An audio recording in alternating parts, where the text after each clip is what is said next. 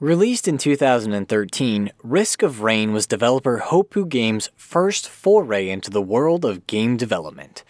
Taking place on an alien planet known as Petrichor 5 that an interstellar transport vessel, the UES Contact Light, crashed onto, the story follows the lone survivor of the crash trying to escape from the hostile environment they found themselves in. With its fun gameplay loop made up of roguelike elements and a unique escalating difficulty mechanic, the game was well received. And a few years later, with the help of their community, Hopoo Games developed a second game in the series which follows the story of the members of a rescue ship that is sent to the UES Contact Light's last coordinates to try and find out what happened to the missing ship. While the premise is laid out at the start of each game, the rest of their stories aren't told through cutscenes or through dialogue between the characters, but through item, monster, and environment logs that the survivors slash rescuers find on the planet, which detail various aspects of the world. Things like showing what the survivors of the contact light went through after crashing on the planet, describing the creatures of the planet and where they've come from, and revealing the past of Petrichor 5. The sheer number of these logs, combined with the fact that some are randomly dropped by certain creatures, some of which may never show up in a run, means that most players, even the ones that want to figure things out themselves, will likely never have everything they need at their disposal to see the history of the planet in full. So let's take the time to gather all the relevant data, put it all together, and present it here so that we can see the full picture of Petrichor 5. From its mysterious past to the world that we see now in Risk of Rain 1 and 2. Obviously, there's going to be spoilers for the stories of Risk and Rain 1 and 2 in this video, so if you want to try and piece things together yourself, now's the time to click away. Additionally, I need to mention that as of the writing of this video, the story of Risk of Rain 2 is still currently being added to, with new content being released for the game fairly frequently. This new content is sure to add new information to the story, so as this video ages, some of it may be out of date. Just keep that in mind if you're watching this a few years down the line and some things are missing or don't add up. But with all of that out of the way, let's get started. The story starts with two brothers, Providence and Mithrix, Young members of a Cyclopean alien race, the two lived amongst others of their kind somewhere in the cosmos.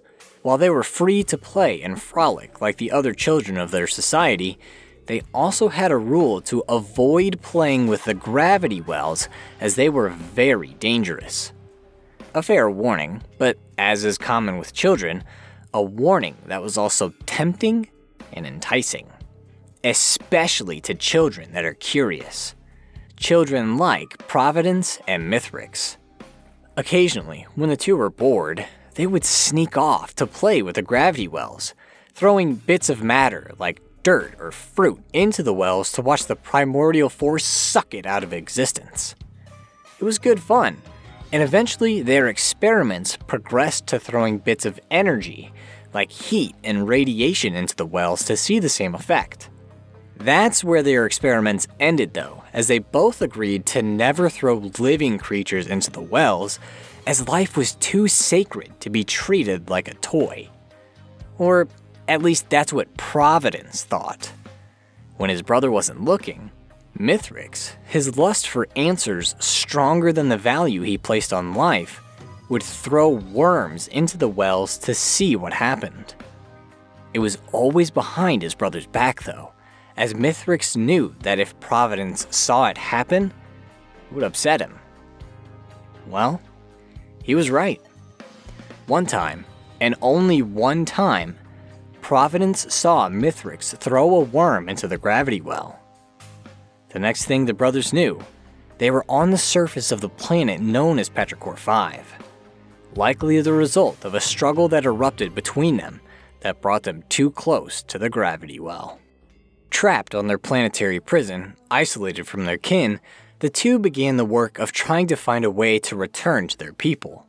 Mithrix took to trying to understand the universe around them, And eventually, after years of study, he identified the four elements that made up matter in the universe mass, design, blood, and soul. Of the four, Mithrix found that design was his favorite. And as his knowledge of the compound deepened, he found that he could use design to create many wonderful and magnificent things. Similarly, his brother Providence found he had an innate ability to manipulate soul, the element associated with life, which was unsurprising considering the love he'd had for life ever since his youth. The two then discovered that the powers they had were actually complementary to each other, as Providence could give life to the constructs designed by Mithrix. Using this combined power, the brothers began to experiment, eventually creating golems of titanic size and strength that could care for and protect them. But as more and more of these guardians were built, a small rift began to emerge between the brothers. Mithrix was satisfied with the work they were doing, but that's because it was all being done his way. It was his designs that came to life the way he had envisioned them, all for the goal he wanted to work towards. Providence, meanwhile, was feeling quite unfulfilled, as the designs Mithrix brought to him had specific ratios of each compound in their makeup that Mithrix said ensured that the Guardians they created would remain strong, dependable, and above all, loyal. But Providence felt that these designs didn't have enough soul in them for the constructs to truly come alive. They were just soulless husks or tools to be used and then discarded when they were done. Thus, one day, motivated by his dissatisfaction, Providence created a guardian of his own. Using one of his brother's blueprints as a base, he put the golem together, but gave it much more soul than was originally called for, resulting in a large titan that could feel and think and experience emotions. Just what Providence had hoped for. But when Mithrix caught sight of the Guardian, he didn't take kindly to the changes in his design that led to the construct's creation. Concerned that the abundance of soul could eventually lead the Titan to turn against them, Mithrix locked the golem away in one of the vaults slash pocket dimensions the two could create, where it was to suffer an eternity, locked away from the universe. He then chastised his brother for creating such a dangerous creature, and feeling he could no longer be trusted in their construction, took over the responsibility of building the rest of their guardians, saying that although they would be smaller and weaker, they would at least be loyal. Providence wasn't left with nothing to do, however, as Mithrix had a plan that, if it came to fruition, he believed would be their salvation. Mithrix had been working on the design of something he called a gate, a structure that, when activated, would have the ability to instantly transport something to a partner gate without losing the data of the object transported, meaning it would arrive on the other side intact. And the best part was that this transportation could cover immense distances. He figured that if he and his brother could create some of these gates, then they would be able to use them to escape the planet and eventually return to their home. It took many years of hard work and required them to use the full extent of their powers of design and construction. But eventually, they managed to do it. They built a gate, the primordial teleporter, and successfully transported something without loss to commencement the moon of Petrichor 5. Mithrix was ecstatic at the results, but noticed that Providence seemed disappointed in them. Mithrix tried cheering him up, telling him that they could escape their prison now, that if he cared so much about life, he could use the gates to save others of their kind that had found themselves trapped on planets like they did. That, with their powers combined, the entire universe was now at their mercy. But still, Providence remained downcast, Believing it would help cheer him up, Mithrix pushed him to go through the teleporter to see the fruits of their labor and be the first to arrive on another world. This finally prompted a reaction from his brother, who insisted that he should be the first one to go through the gate. Still believing it would help his brother, Mithrix acquiesced. He stepped upon the teleporter and warped to commencement. After taking a moment to take in the feeling of this new world, he turned and watched the teleporter, eagerly awaiting his brother's arrival. Back on the surface of Petrichor 5, Providence looked upon the gate with hesitation. Unlike his brother, he wasn't excited about the prospect of leaving the planet because as the years had passed and he spent more and more time on Petrichor 5, he had grown attached to the flora and fauna that thrived there. So much so that leaving the planet now seemed unbearable to him.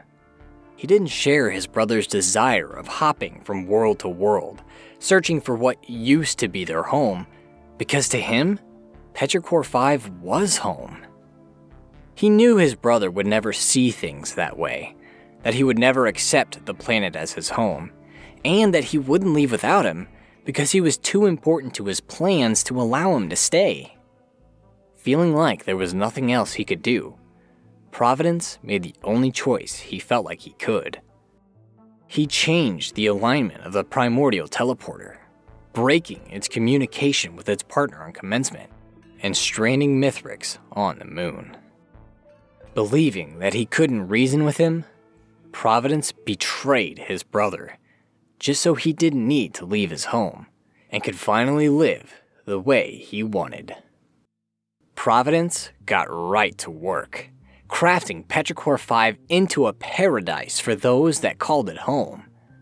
However, as he was working on his utopia, he knew he didn't want it to only be for the life native to the planet. He wanted to save as many lives as possible. So, using the teleporter designed by his brother, Providence traveled to other planets in the cosmos to find species or civilizations that were on the brink of extinction and saved them by bringing them back to live on the paradise that was Petrichor 5. He saved a people made of tar that resided in clay pots from their self destructive parasitical worship and crafted a desert sanctuary for them that resembled their homeland. He rescued a species of bison that were at risk to be poached to extinction and put them in an environment that was familiar to them. He plucked a reptilian species called the Lemurians from their dying planet so they could burrow new, better tunnels for themselves in the crust of Petrichor 5.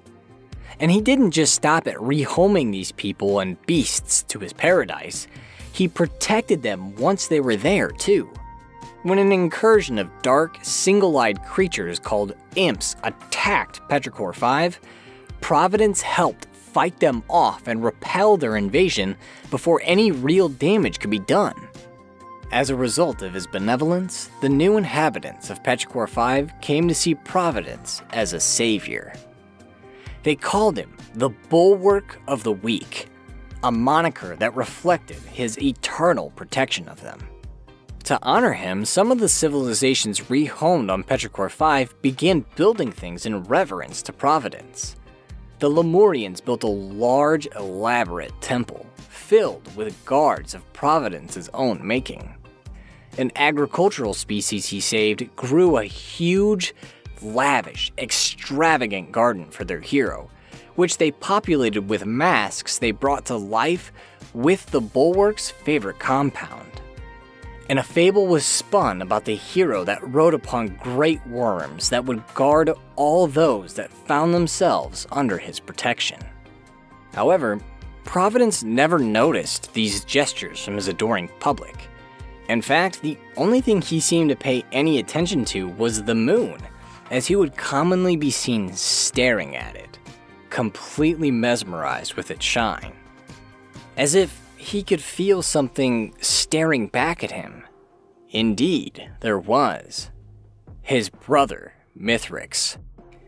Mithrix's abandonment had not resulted in his death, but relegated him a king of nothing and he watched with contempt as his brother built an empire of his own, distorting everything he'd worked for and accomplished to do so altering his perfect designs to build inferior constructs, using his gates to bring vermin to the planet, using his guardians to protect them. It made him grow bitter and angry, and he vowed that someday Providence would pay for his betrayal, and he would get revenge. Mithrix started by bringing new designs to life, building an army of his own up on the moon. He also tried to turn Petrichor 5's denizens against their protector by sending gifts to its surface.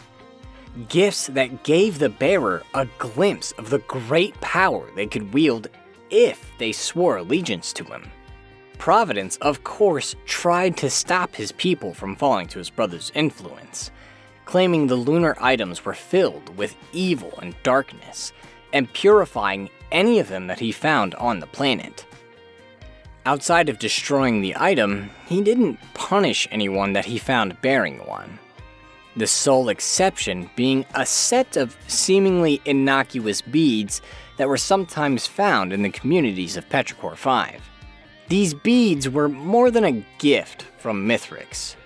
They were a sign that the owner had sworn fealty to the King of Nothing, and was therefore an enemy of Providence and the inhabitants of Petrichor 5. Anyone that was found with these beads in their possession were struck down by the otherwise benevolent bulwark of the weak in order to keep his home and the home of his inhabitants safe from the wrath of his spurned brother. However, despite Providence's best efforts, lunar gifts continued to rain down from commencement. And for some of the more curious denizens of the planet, for instance, the creatures that came to be known as scavengers, who had an innate desire to collect, continued to gather these items and fall to Mithrix's influence, thereby increasing his number of followers. Eventually, when enough had been gathered, he tasked them with finding the primordial teleporter and returning it to its original alignment, so that he could return to the planet and wreak his vengeance. Eventually, one of his twisted scavengers was able to find the teleporter in Sky Meadow, but to Mithrix's dismay, was unable to complete the task it was assigned. This was due to a lock that had been placed upon the teleporter by Providence. A lock that was designed by Mithrix. A lock that could not be opened while his brother lived. Knowing there was nothing more his twisted scavenger could do, Mithrix released it from its task and rewarded its loyalty by offering it a place in one of his vaults where it could be at peace and safe from his coming wrath. Indeed, having another one of his designs be used against him by his brother filled Mithrix with rage. It motivated him to become a destroyer of worlds all to spurn his insolent brother. He started to work on designing a grand gate, one even better than the one he designed previously, one that would allow him to travel even greater distances, so he could fulfill his newfound purpose as an angel of death. He even knew which planet he would target first. It was one that his brother had been watching intently fearing its inhabitants would destroy themselves. A planet of water and dirt. A planet called Earth. Providence first caught a glimpse of its people, beings referred to as Earthlings, when he rescued the bighorn bison from a planet in the same system as their home planet. There had been some Earthlings that had established a colony on the planet, and as he looked over more of the system, he found more colonies of Earthlings all over it, from the moons of its gas giants to the rocks of the terrestrial planets of its interior. Indeed, the beings were very capable space travelers, with one organization from their home planet having developed technology that allowed them to spread beyond the limits of their home star system and establish colonies in other ones, like the Primus star system. These colonies were not isolated pockets incapable of communication and trade, though, as the Earthlings had another organization named UES that was capable of shipping goods between the colonies. Despite having an empire that stretched across the stars, things weren't exactly peaceful for the human beings of Earth. Their home planet had recently been engulfed in a bloody war that was incredibly devastating for its denizens and colonies on Europa and in Primus had experienced violent rebellions that ousted the ruling class of their societies. While things seem to have stabilized for the Earthlings as of late, these events had concerned Providence, and he decided to keep a close eye on them. Unfortunately, the attention he paid to them also brought the attention of others. One day, while in the midst of a transport, the massive cargo ship known as the UES Contact Light received a transmission requesting a detour. The request came from a source known only to the captain of the vessel, who did not announce the reason of the detour to any aboard the ship. Nor did he follow protocol and announce that the UES Contact Light was slowing down as it approached its new destination, Petrichor 5. While not known with any certainty, it's highly probable that the reason for the change in course was due to a special item that somehow found itself aboard the contact light. One of the teleporters created by Mithrix and Providence. If the ship could find the matching gate somewhere on the planet, which the engineers and archaeologists on board thought was possible, and bring it on board the contact light, then they could study these structures to possibly unlock the secret of teleportation, a technology that had eluded humanity thus far. One that, if it could be found, could unlock the next chapter in human history. However, shortly after arriving in space around Petrichor 5, the contact light got an unexpected visitor. Providence warped aboard through the teleporter in the ship's cargo bay and now believing that humanity was a danger to the paradise he built, launched an attack on the ship. Over the course of the next few hours, the crew tried putting up a resistance, but recognized that they were no match for the might of Providence and his monsters.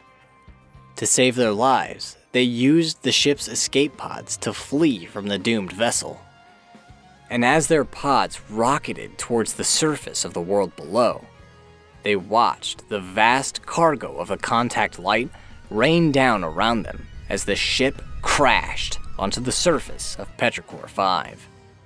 Despite the devastation of the ship, many of its crew members were able to make it off the contact light with their lives, and once safe on the planet, they established rally points where other survivors of the disaster could gather together and wait for rescue. However, they soon found that their escape was a case of out of the frying pan and into the fire, as nearly as soon as they landed, they were beset upon by the inhabitants of the planet who followed the example their savior had set and attacked these newcomers on sight.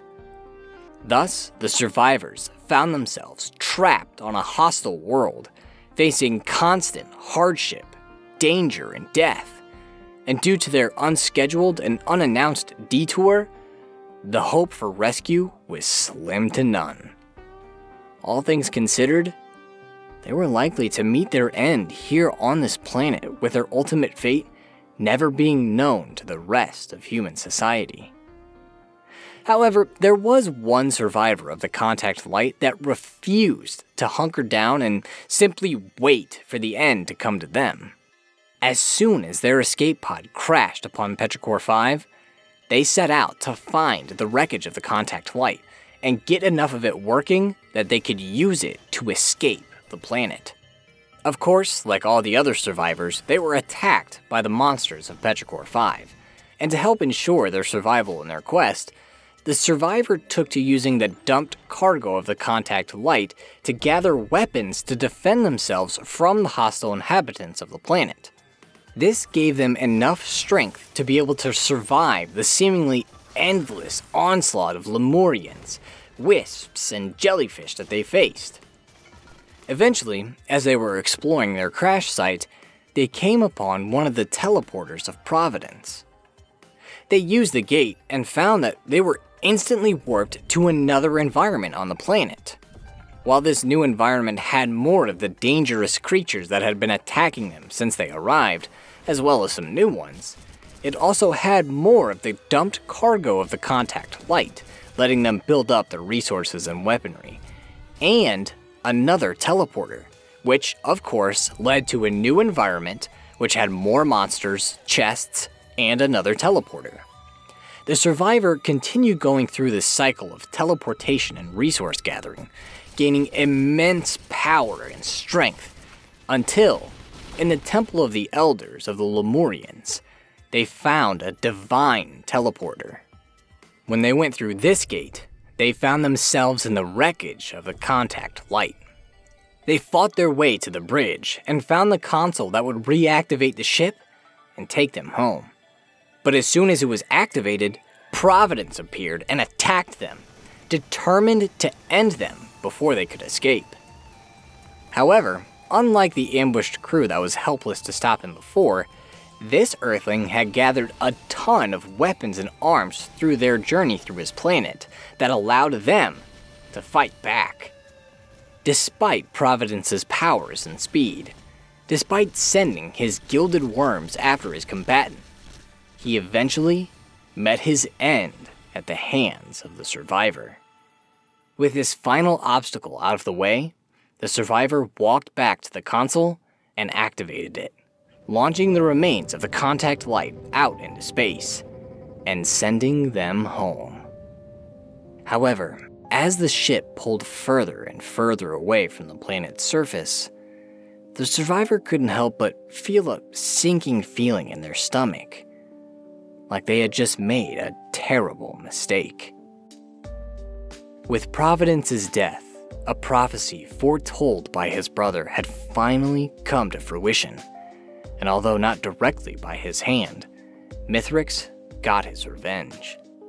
Now that his brother had met his end, the moment that Mithrix had been waiting a millennia for was finally here, and he started to prepare for his return to Petrichor 5 to take over the empire that should have been his. While the inhabitants of the planet mourned the loss of their savior, wondering what was going to happen to them now that he was gone.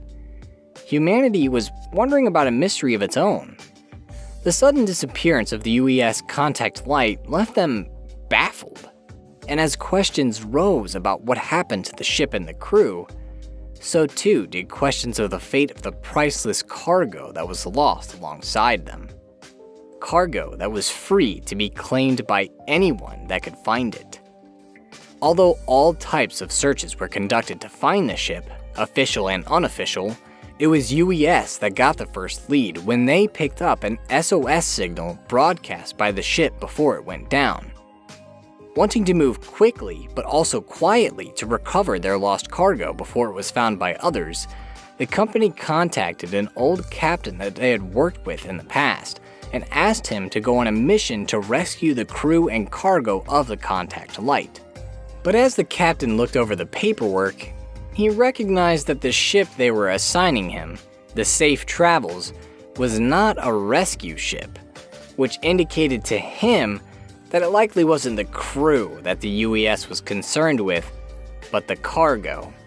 And that this operation was likely more dangerous than it appeared.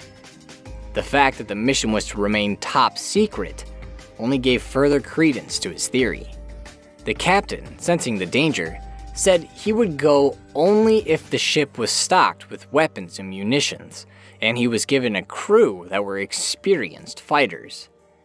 UES, desperate to reacquire their cargo, agreed to the terms, and thus the UES Safe Travels set off towards the contact light's last known coordinates. After some time, they came upon the spot in uncharted space that the distress beacon was sent from, and observed Petrichor 5 and its moon commencement in all their glory. The captain wasted no time in starting the rescue operation, sending down various shuttles and drop pods to the planet to begin the recovery of cargo and survivors. The cargo was the easy part, as there was debris from the contact light all over the surface of the planet. The search for survivors, though, was less fruitful, as the operatives found no evidence of living humans on the planet. They did meet other living beings, though the inhabitants of Petrichor 5, who, just as they did to the people of the Contact Light, immediately attacked anyone from the safe travels on sight. Despite having weapons and armaments prepared for this outcome, Safe Travels suffered heavy casualties in the first 24 hours of their operation. But the captain was not willing to give up so easily and continued to send shuttles and drop pods to the surface of Petrichor 5, even going down himself to ensure the job could get done. As the operation continued, a group of one to four operatives inadvertently followed in the footsteps of the lone survivor of the contact light. While exploring the planet's surface and looting the chests that were dumped from the ship's cargo bay for weapons and items to help in their fight against the planet's inhabitants, they came across one of the teleporters constructed by Providence. They activated the gate and warped to another environment of the planet where they gathered more resources, fought more monsters, some of which were new, found another teleporter, and warped to another environment where they gathered more resources, and so on and so on. However, unlike the journey taken by the survivor of the contact light, the operatives of the Safe Travels didn't find the divine teleporter in the Temple of the Elders, but the primordial teleporter used by Mithrix to travel to commencement, and sealed by Providence to prevent his return. Of course, with the death of Providence, the lock that had been placed upon the teleporter was now removed, and the operatives found that they could change the alignment of the gate to point to the moon. Although their mission only called for exploring Petrichor 5, the operatives went through the primordial teleporter and arrived on commencement. As they exited the immense temple that had been the site of their arrival, they came upon the first sign of a way to get back to the safety of the safe travels they'd seen yet. A downed shuttle from the ship that was still operable. However, it was contained within a force field that they couldn't penetrate. Ready to be done with fighting for their lives, the operatives searched the surface of the moon for a way to bring the force field down fighting their way through constructs they hadn't seen on the planet's surface as they did so. Eventually, they came upon four strange pillars scattered amongst the broken buildings in the area. Interestingly, each one seemed to be associated with one of the compounds that were said to make up everything in the universe. They charged these pillars, hoping they would take down the force field around the ship, but found that they activated some gravity lifts instead. When they jumped into one of these, they were shot high up into the air and came to land upon the edge of the large arena that had loomed over them since they'd arrived. They passed through the sheer barrier and approached a dark orb in the center of the structure. Suddenly, Mithrix, the king of nothing, appeared from the orb and attacked them. Although the humans had been helpful in his revenge and furthering his plans, now that they'd unlocked the primordial teleporter, thereby giving him a way to return to Petrichor 5, he no longer had a use for them, and decided to kill them.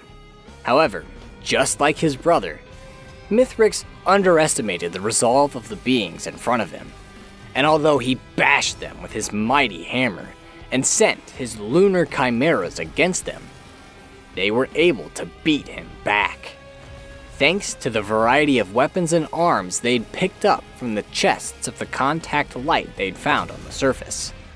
Recognizing that those items were what was giving his adversaries their power, Mithrix pulled every single one of them from his opponents, intending to wield their weapons against them. But by this point in the battle, he was too weak to put up much of a resistance. As the operatives retaliated, they eventually regained possession of their items, and eventually brought the King of Nothing to his knees, ending his reign. Incredulous, Mithrix faded away. And as he did, the structural integrity of commencement was compromised, and it began to fall apart. The operatives rushed to the shuttle to make their escape, and while doing so, came across strange crab like creatures whose attacks seemed more like they were trying to capture them than kill them. When these monsters were killed, they collapsed in a loud implosion that took out anything caught in its radius, even other crab creatures. They didn't have any more time to investigate, though, so dodged past these monsters to make it to the shuttle. After defending it for long enough for it to start up, they climbed aboard and escaped from commencement with their lives. Just in time, too, as shortly after they left, the entire moon was sucked into a gigantic black and purple orb and vanished. As the operatives returned to the UES safe travels, feeling as though they'd found the answers they sought when they first came to Petrichor 5, they couldn't help but feel like there were so many more that were now unanswered. Who sent the UES contact light off course, and why did they do it? How did a teleporter from Petrichor 5 end up in the cargo hold of the ship? What happened to the lone survivor of the contact light? Are they out in space somewhere, hoping to be rescued still? Or have they suffered a different fate? UES seems to have an ulterior motive behind sending the safe travels to Petrichor 5, one they've hidden from the captain and crew. What is it that they're hoping to find on the planet? The teleporters? Or is there something else? In some of his logs, Mithrix mentioned a her that traveled from planet to planet and eventually sacrificed herself for Providence. Who was this she? How did he and his brother come to meet her? And why did she sacrifice herself for Providence? The implosion that took commencement with it was very reminiscent of the death implosion of the crab creatures, and they only appeared on the moon after Mithrix was defeated.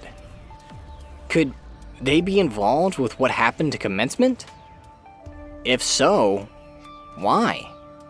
With so many questions left over, the crew of the UES Safe Travels knows they will have to return to Petrichor 5 to get the answers they want. And in fact, return trips to the planet have already begun to answer some of the questions they've had. In particular, with regards to the strange crab creatures they saw in their escape from commencement. The survivors learn that these creatures are named Void Reavers and come from a plane named the Void. The attacks and implosions that the Void Reavers perform don't really kill a creature or destroy an object, but detain it. A process where the atoms that make up the being slash object are crystallized and stored in a cell. These cells are transported to the void fields that make up the home plane of the Void Reavers, where they're meant to be stored for the rest of time. Using this method, the Void Reavers had safely detained countless things monsters, weapons, machines, people, gods.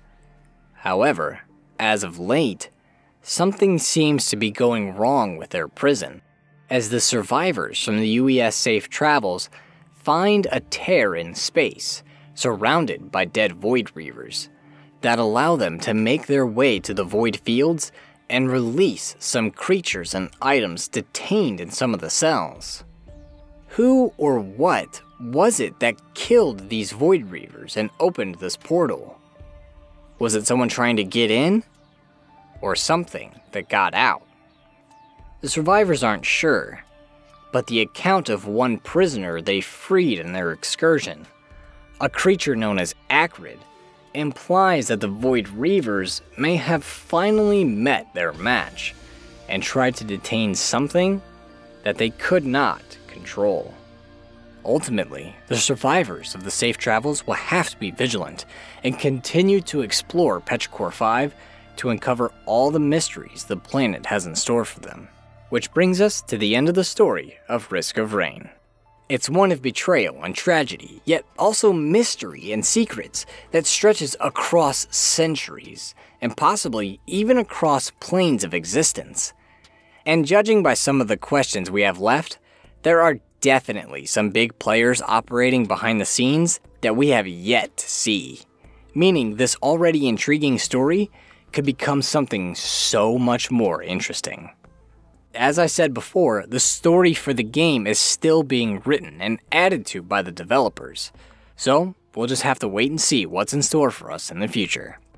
Now, I did my best to put everything in order as best as I could, with all of the references of where I got my information included, but I know it can be confusing, so if you have any questions, feel free to ask and I'll do my best to answer them. Likewise, if there's anything you'd like to point out, feel free to. I'd be happy to hear your thoughts or things I may have missed. But yeah, that's pretty much it for this one. So, until next time, thank you for watching, and see you later.